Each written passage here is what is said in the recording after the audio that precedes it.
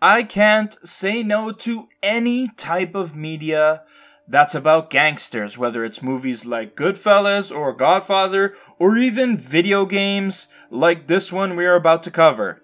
I've gotten the plat for Mafia 2 twice now, and even got 1000 gamer score on an Xbox account I can't remember the password to. I love this game, period. It's not the best open world game or best cover shooter or maybe even the best story in games, but it certainly has Corleone. Incredible characters, expertly voice acted with a top notch script, and a roller coaster of a story about becoming a made man. That's what makes Mafia 2 so great. It's a bit rough around the edges, but like our anti hero, Vito Scaletta, it has a heart of gold. And to go along with it, you got a pretty great and pretty challenging trophy run that really only has one problem to it. I mean, it's got tons of great moments in the game already, and the trophies definitely do a good job of capitalizing on them, plus quite a few incredible environmental trophies that are still memorable to this day.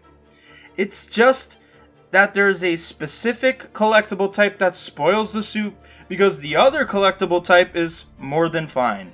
Trust me, more than fine. But it's this one collectible type that can make this trophy run a bit tedious. The real original gangsters of this game know what I'm talking about, but it's time to cover one of my fave games of all time and invite the uninitiated to the Platinum Mafia crime family. This is Platinum Hunters, the show where we take a look at everything it takes to get the Platinum Trophy and whether it's worth the effort to achieve it. Don't forget to check out my Mafia 1 trophy guide already on the channel. It's been there for a while. It covers that freaking race and how to beat it. And of course, subscribe for more trophy guide videos just like this one, because you might just find your next Platinum Trophy.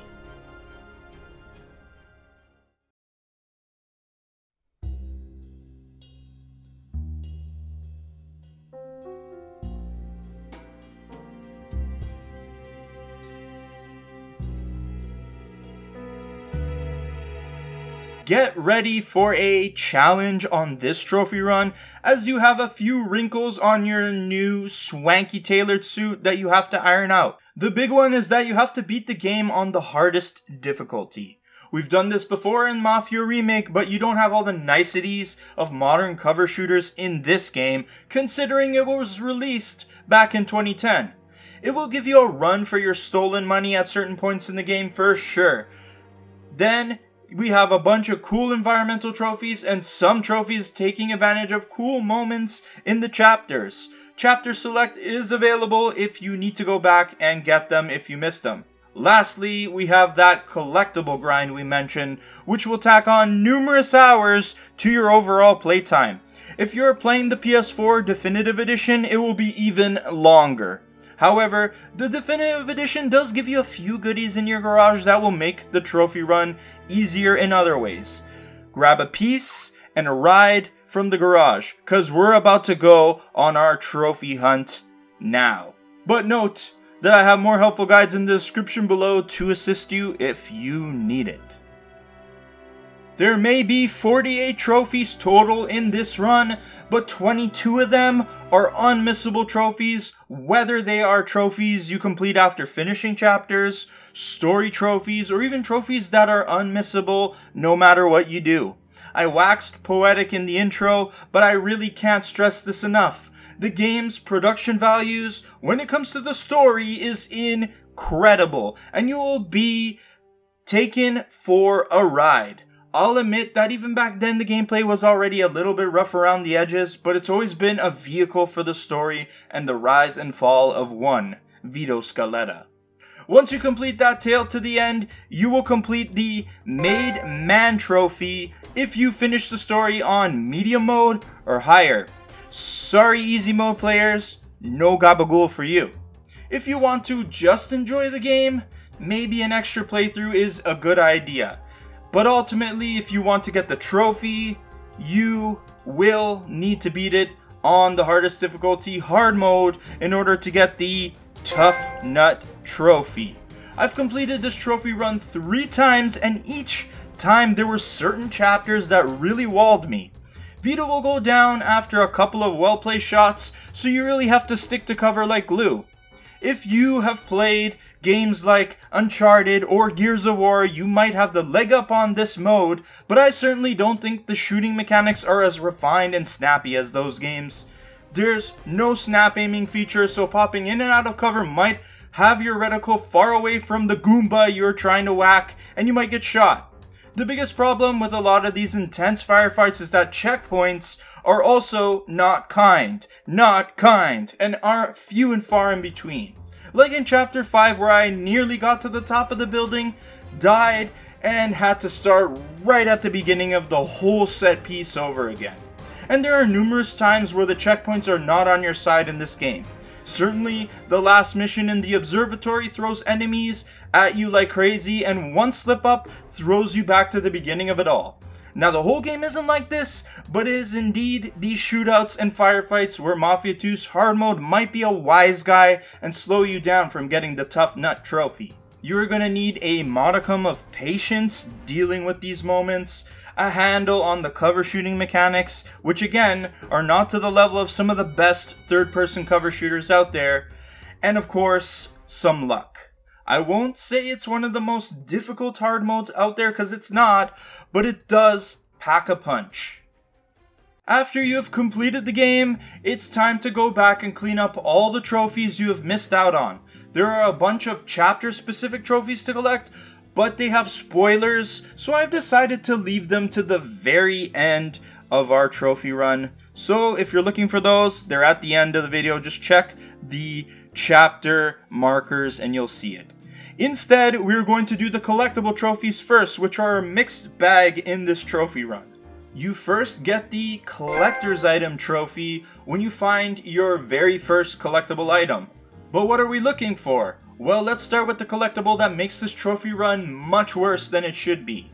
Now we have the Card Sharp trophy to grab after you find all the wanted posters scattered on walls and buildings all over Empire Bay. I guess these collectibles are kinda cool aesthetically because they feature all the devs who worked on the game in gangster getups with cool nicknames. However, I guess the dev team was pretty big because there are a total of 159 wanted posters to find, and that's just strictly speaking about the PS3 version of the game. When the definitive edition of the game was released, they added 30 more wanted posters to make the PS4 version's grand total rise to 189 wanted posters. There is no in-game tracker for any of these collectibles, so you will have to do this the old-fashioned way unfortunately. I have guides down below for the original 159 and the extra 30 depending on which version of the game you are currently playing. A silver lining here is that none of these wanted posters are in places where you only access in specific chapters, so you can start hunting these things down as soon as you get free reign to explore the city. This collectible type is going to add a lot of hours to your playthrough, but with this next collectible, it's not all bad.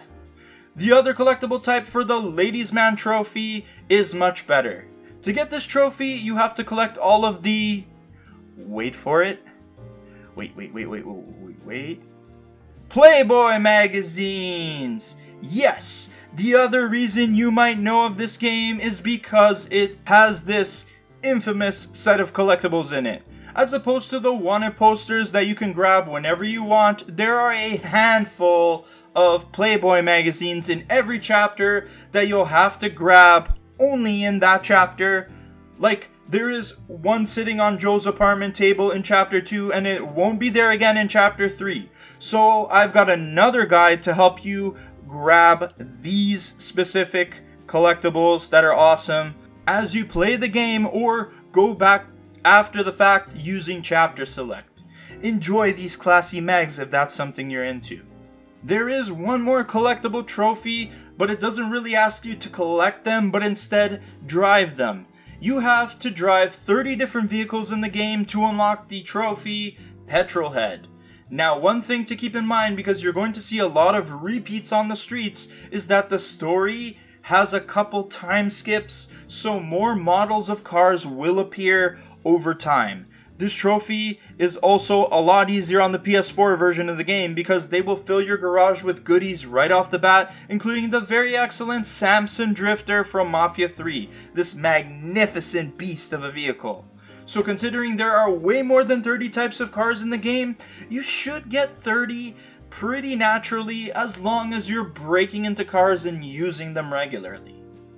That's collectibles done, and we have a bunch of miscellaneous and environmental trophies to nab next. We have some related to cars, some for causing violence, and some for looking swanky. Let's start with some violence first. The Knucklehead trophy is for beating down 30 people with melee attacks. Now the trophy for gunning down 50 enemies is pretty much unmissable, but this trophy maybe not so much especially if you're playing on hard mode where running up to people to melee them, not a great plan. So you might have to collect this trophy after the fact. Load up a chapter on easy mode and when you get to one of the big firefight moments, just use your fists instead. Next trophy is going to take some marksmanship instead of just spraying bullets with the Tommy gun. No, now we have the Hairdresser Trophy, where you'll have to get 5 headshots in rapid succession according to the description of the trophy. This trophy is quite finicky and it demands perfection despite the gunplay not being all that great. So you will need to go from headshot to headshot, being sure not to hit the enemies anywhere else on their body, and you need to do this in a span of about 20 to 25 seconds. It's an annoying trophy to contend with for sure, but I found the Greaser's Hideout in Chapter 8 to be the best place to get this trophy. There is a checkpoint where you can get your hands on an M1 Garand, which makes headshots easier than your pistol. There will be lots of greasers to shoot, and if you mess it up, you can just restart to the checkpoint and try again. I'm making it sound easier than it is, but at least now you have a plan and a place to pull this off. Now that you're a made man and swimming in money, you need to buy yourself only the best looking attire for the Sharp Suitor Trophy. You get this trophy when you buy your first luxury tailored suit, and there is only one store in Empire Bay that carries them. The joint is called Vangel's, and the suit you purchase has to say tailored on it. You won't be able to get this trophy anywhere else at any other store, and no casual suit is gonna cut it. Only the best for my boy Vito. Since you're in the neighborhood, you might as well get the Stuck Up trophy as well. You have to rob 5 stores in under 5 minutes, and just north of Vangel's is a cluster of stores with gas stations, clothing stores, and bars that you can rob make sure you have a piece on you and a getaway car because you're gonna be sticking up some cashiers and grabbing the cash in the register and vamoosing. Chances are you will get the cops on you, but don't waste time because you have to rob 5 registers before 5 minutes is up, and that is quick. This is a fun trophy to go for, and it might sound hard to do, but in that specific area where it's densely populated with registers to get to, it's quite easy to pull off this heist. Now, you meet Mike Bruski early on in the story and are introduced to a good way to make a quick buck. You can also get the trophy Proper Scrapper this way by selling 5 cars to Mike Bruski, whether they are your own or not. Probably not, am I right? If you just want to get the trophy done quickly, a bunch of cars randomly spawn all around Bruski's junkyard so you can smash the window and drive them into the scrapper machine. You only need 5 cars for the trophy so it's super easy to get done this way. So, for the Exporter trophy, it's the same shtick, but now the buyer is a lot more picky with what you bring in. You have to sell 5 cars to Derek Pappalardo at the docks, but he only wants certain luxury cars. The chances of those cars spawning close by to the docks are very slim, so you're gonna have to go out and look for them, probably rob them as they drive by. The later chapters will have them appear more frequently, so load up one of those when you go for this trophy. It's a bit inconvenient, but again, it's only 5, so it's not really that big a deal in the grand scheme of things. There is a pair of trophies you can collect at the auto shop for upgrading your ride. After you repair your vehicle because you probably crashed it, you can get the Tuned Ride trophy the first time you upgrade a car's performance to the first level which is called Basic Tuning. This will certainly give your car some much needed punch, but it can handle more. Keep upgrading the same car until you get to the Dream Handling Trophy in which you need to upgrade a car's performance to the max level of 3. Not all cars are able to do this, but most of the regular cars you can swipe on the street will be able to upgrade this far. The Jefferson you swipe from the Bombers gang at the beginning of the game can do it, and if you still have it in your garage, upgrade it to the max. Unfortunately, the Samson Drifter can't do it, but that thing is already a beast anyways. The Samson Drifter is going to be mightily useful for this next run of trophies. I love the name of this next one, but for the Get Rich or Die Flying Trophy, nice, nice. You have to get some serious air and get all four vehicle tires off the ground for at least 20 meters and then touch ground again. That's important. You have to land back on all fours. There are a bunch of spots where you can do this, but one of them includes riding through the highway tunnel and hitting the hill with some speed. That will get you some good air, especially if you drive something fast like the Samson Drifter. Another spot includes driving along the bridge and flying over the hill at the end of it, although you have to be careful not to smack the side of the building. That second spot I mentioned is also a good place for the Pedal to the Metal trophy. You will need something fast as well and rev the car all the way up to at least 125 miles per hour. The bridge is a long stretch of road that also has a downhill portion to give you even more speed. Now by today's standards, 125 miles per hour is not a lot, but remember, back then, cars didn't move as fast as they move now. Unless you got the Samson Drifter, which came from the future somehow in this game. If you have the PS4 version, I'm telling you, you've been given a serious gift. And the Samson Drifter was also the car I exclusively used for another trophy called One Careful Owner. Now you have to travel 50 miles using one single car. That is a lot of driving that you might not want to do after the fact. Although if you do have it, you can do it while you get those wanted posters. Otherwise, I would find the car you want to drive for the rest of the story and put on the miles as you go. Thankfully, cruising the city is really fun in this game. And you're gonna see quite a lot of it as you go for this next car trophy. They really packed this trophy run with car trophies, and the cruise control trophy is one of them for hopping in a car and keeping the car's speed higher than 50 miles per hour over 5 minutes without dropping it below that mark. This is going to be a slightly weird trophy because in those 5 minutes a lot of things could go wrong. You could crash into a wall, crash into oncoming traffic, lose control of the car, and the possibilities continue to stack. I think the best way to win this trophy is to drive a fast car from the beginning of the highway to the end with the speed limiter on and pray that traffic is not bad that day. You will maintain more control of the car this way with the limiter on, so you should be able to successfully weave through traffic going too slow. But other things could go wrong, so good luck as you try to maintain your speed and not drop it for whatever reason. And finally, we have one more to talk about. The other times I did this next trophy, I found it pretty hard to do but coming back to this guide, I discovered a very easy way to do it now. It's a foolproof plan.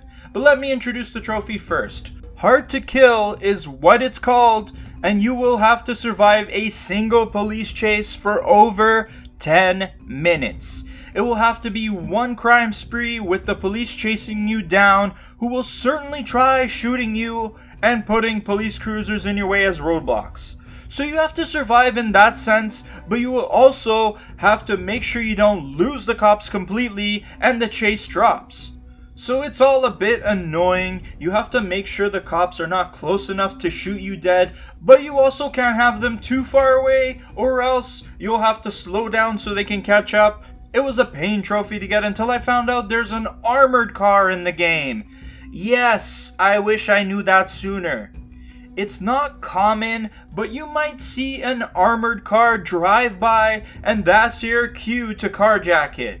Then all you need to do is piss off the police, throw on the speed limiter, and let the police try to stop you for 10 minutes.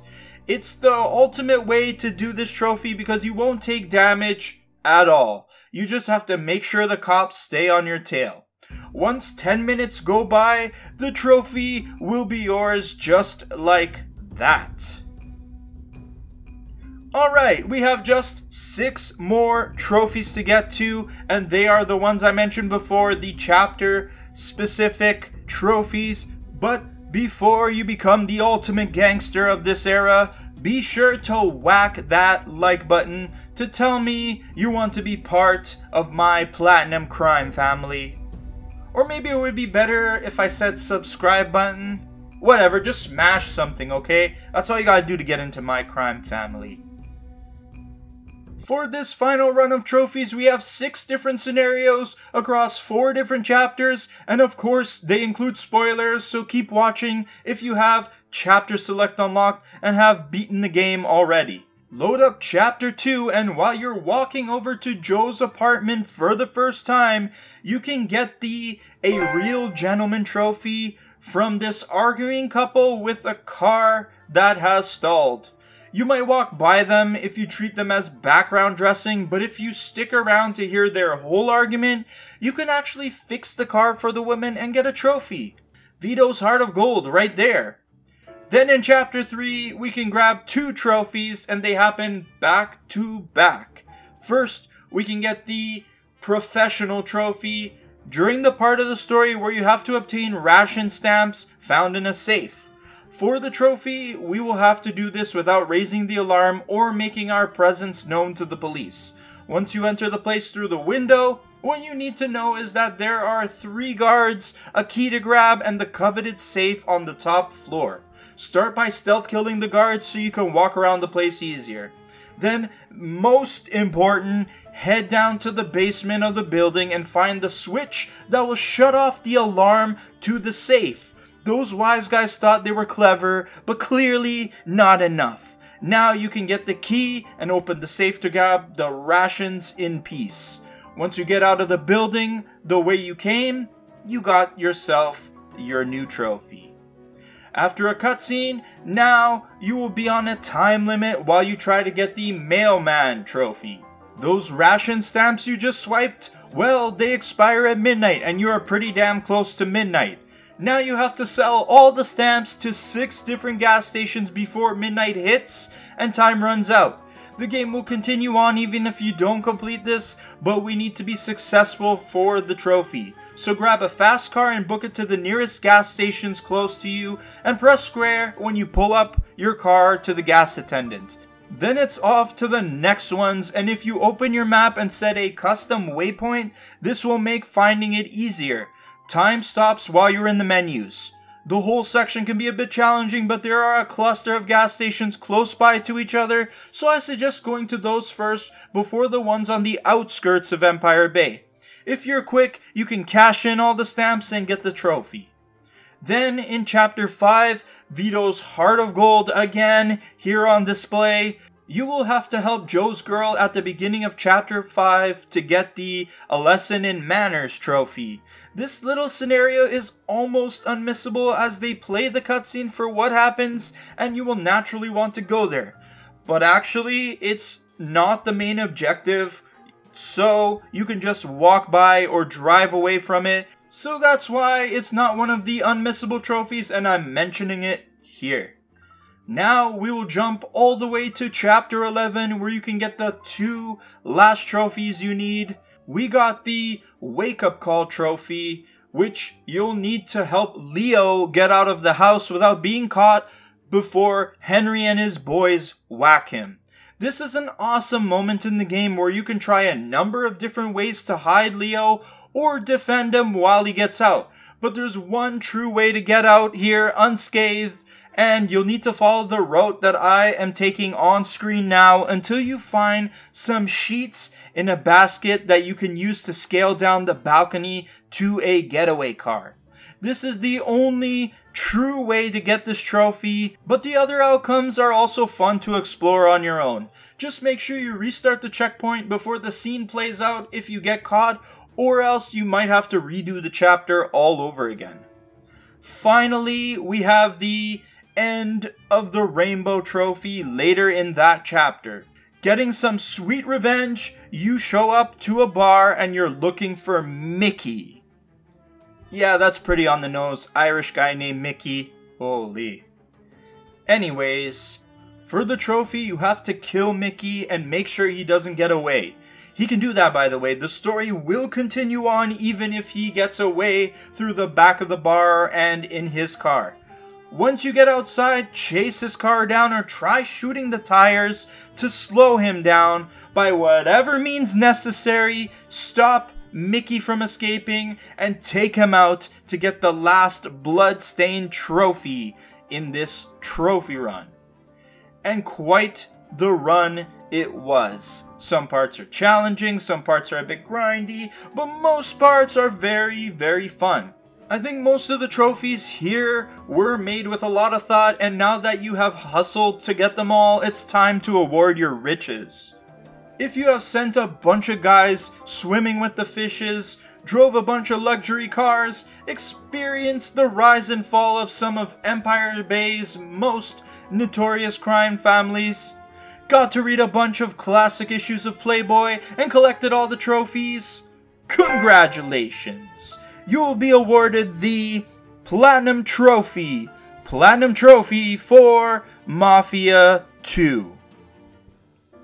Okay, fine. At the time the game came out, they could have gotten away with this name, but the definitive edition, no excuse for not coming up with a better platinum name. Fangulo.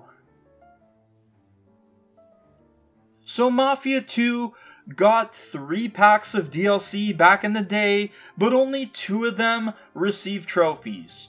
Those packs are the Joe's Adventure DLC and Jimmy's Vendetta. One of them is a more goofy romp with our lovable sidekick as the main character. The other is a harrowing tale of revenge with a brand new character we haven't seen before. Now, if you have the definitive edition on PS4, all the content is included, but if you're looking for the DLC on PS3, it's unfortunately been delisted from the PlayStation Store due to licensing issues. Probably the music you'll have to track down a greatest hits copy, which doubles as a Game of the Year version with all the DLC on disc. At least you can still access it from this version, but honestly, just get the definitive edition, even though it's not quite a perfect port of the game. I wasn't planning on making a New Game Plus video for these two pieces of DLC, but if you want, let me know in the comments section and I might make it and you might see them hit the channel. Overall, I think Mafia 2 has a pretty memorable Platinum Trophy run that you'll have to put the work in to get, but it will make you rich in accomplishment. Sadly, not money. You're not getting your cut of the money. Sorry, no. There are some great chapter trophies taking advantage of some great story moments, and some interesting environmental trophies that you don't really see done in too many modern trophy runs these days. Oh, and the collectibles, of course, giggity. Not the wanted posters, which is the only awful part of all this. And maybe hard mode is going to be a pain at times, but I'd do that mode twice, three times, four times if it meant I didn't have to collect any of the wanted posters. But anyways, great plat, and now that means we have covered the first and second games on the channel. So I guess that means we should cover Mafia 3 at some point, although I have been hesitant to play it because I heard it's buggy and there's some glitch trophies. But Vito is in it, so my curiosity for more of this gangster crime drama is still at an all-time high. That's it for this video. I hope you guys enjoyed. I got this one out lickety split. I just needed to record footage and I hope if you're checking it out for PS Plus in the month of November. I hope this guide helps you get it and takes care of all those miscellaneous trophies that you might need a little bit more explanation for. Let me know down in the comments section if you're going to play the game or check it out. Let me know if you have the platinum already. And of course, I hope all your Tommy gun shooting, trophy hunting expeditions go incredibly well. Peace out.